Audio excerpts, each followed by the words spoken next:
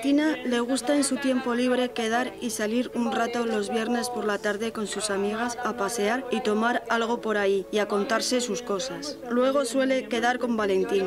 El viernes Valentín envía un WhatsApp a Valentina y le dice,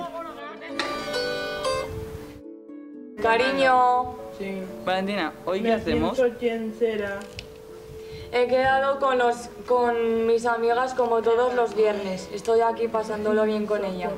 Pues yo quería quedar contigo los dos solos. Siempre estamos quedando con más gente y yo lo que quiero es conocerte a ti. Te quiero tanto que no entiendo por qué quedas antes con ellas que conmigo. Además, tus amigas son muy aburridas y no te hacen ningún bien. Critican nuestra relación y tú no te das cuenta. Tienes que dejarlas por tu propio bien y venirte conmigo. Valentina no está muy de acuerdo con lo que dice de sus amigas, pero para demostrarle a Valentín que le quiere, le dice, Vale, ya les digo y quedamos otro día.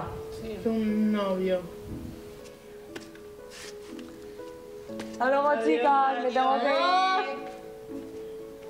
Ay, ¿por qué te vas? Ay, ¿por qué te ¿Por qué te vas? ¿Por qué te vas? ¿Por qué te vas? Si tienes- Porque Valentín, como me quiere tanto, me reclama. Has quedado con nosotros y te tienes que quedar aquí. nosotros no tengo Valentín ni No tienes que ir si no quieres con él. Es de todos los viernes que te llama para salir con él. Nunca quedas con nosotros. A eso ya no te vamos a llamar más para que No. vengas con nosotros. Pero siento mucho Te vamos a borrar del grupo. Valentina no se da cuenta de que haciéndole caso a Valentín sube un escalón en la violencia de género. Este suele ser el primer peldaño, el peldaño del aislamiento, pero Valentina también podría responder de esta otra manera. Eh, a ver, que yo no voy a salir contigo hoy todo hoy contigo porque hoy es viernes y los viernes y sabes que los viernes quedo con mis amigas y no voy a dejar de salir con ellas porque tú lo digas.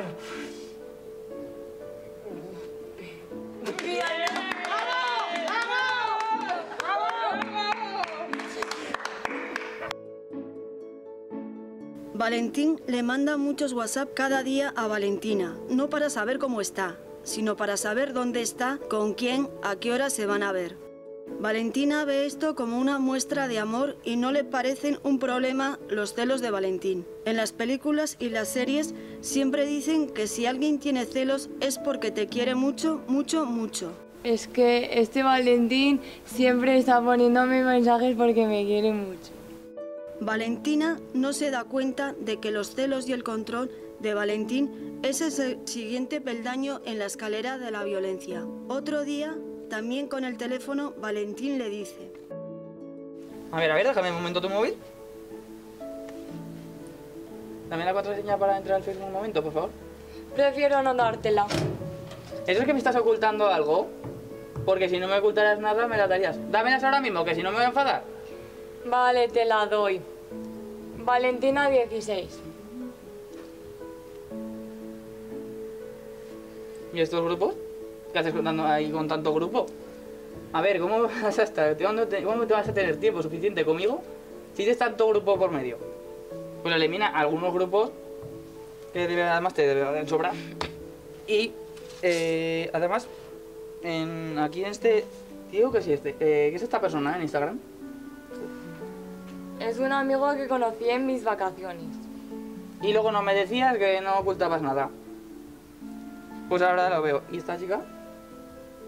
Pues vaya manera de, provocar. Porque semejantes cosas y además enseñando todo, por ahí, me deberías bloquear.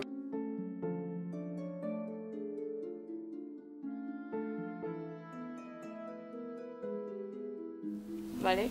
Pues las. Así Valentín poco a poco va a dominar y dirigir a Valentina y continúa el proceso de aislamiento y control que ella vive, lo que hace que suba un peldaño más en la escalera de la violencia de género. Aunque a Val- Valentina puede detectar que a Valentín le quiere controlar y le puede decir, Dame por favor la contraseña que si no me puedo entrar. Eh, no, yo ahora no te la voy a dar porque es mi móvil, eh, mi Facebook, mi Instagram y no tengo por qué estar eh, todo el rato compartiendo contigo mis, mis, eh, mis cosas personales del móvil porque es mi móvil y tengo derecho a una intimidad.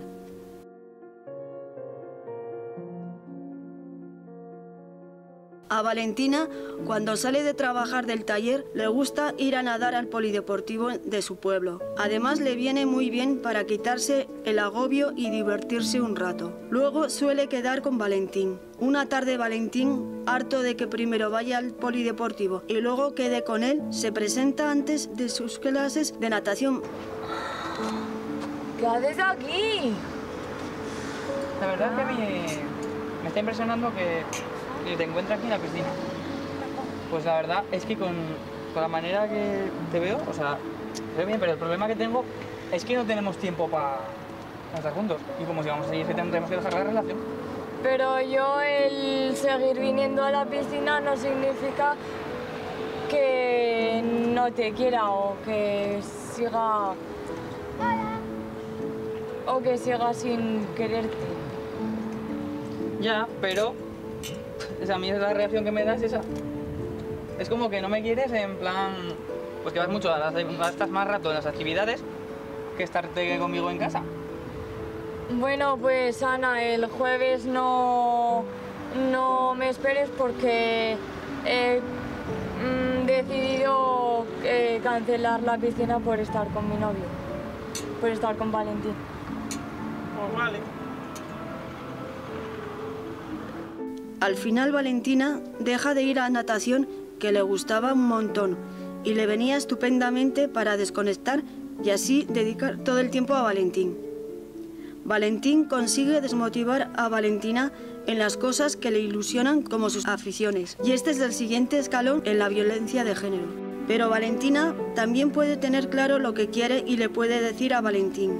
Pues lo siento mucho, pero eh, yo tengo derecho a mi espacio personal eh, y quiero seguir con mi vida, hacer deporte, o sea, seguir eh, haciendo deporte, seguir con mis cosas y no puedo estar todo el tiempo contigo.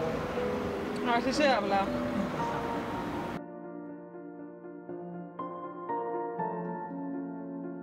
Valentina le comenta a su chico que se quiere hacer un cambio de look. A ver, cariño, hoy voy a ir a la pelo, me voy a cortar el pelo y me lo voy a teñir de negro. Que a mí no me gusta que te cortes el pelo ni tampoco te lo tiñas de negro. Y sobre todo, el escute enseñando todo y la minifalda muy corta. Valentina sigue pensando en lo que le ha dicho Valentín y finalmente le pregunta. Pero es que, ¿en serio de verdad crees que, que llevo, que las faldas que llevo son cortas y que el escote también es... Los comentarios de Valentín afectarán a la autoestima de Valentina, puesto que a él no le gustan las cosas que ella quiere hacerse, aunque le apetezcan mucho y le hagan mucha ilusión. Algo que hace que cada vez ella dependa más de lo que él piense y diga, Vale, pues si quieres que, si no quieres que vaya a la pelo y quieras y quieres que sigas como hasta ahora, pues, eh, vale, pues mm, voy a dejar, eh, voy a mm, dejar la pelu, eh, o sea, ya no voy a la pelu y iré como, como hasta ahora porque y le conducirá al siguiente escalón en la violencia de género. Sin embargo, Valentina puede escuchar lo que Valentín le dice, pero sobre todo escucharse a sí misma, escuchar lo que ella piensa y siente. Y desde ahí podrían decirle a Valentín, Pues yo lo siento mucho, pero voy a seguir igual. Eh, tú puedes tener, eh, seguir teniendo tu opinión sobre hacia mí, pero yo voy a seguir eh, como hasta ahora porque a mí no me apetece para tanto y pues mira, lo siento mucho y oye.